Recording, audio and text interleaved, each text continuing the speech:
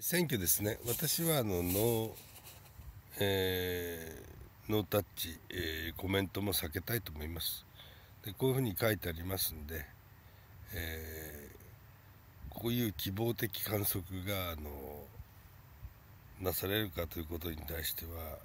大きな疑問を抱いておりますね。後から後から次から次へとあの良くないねイメージが出てくるんで、えー、そんな中でじゃあ今後は一丸となってできるかっていうことでですね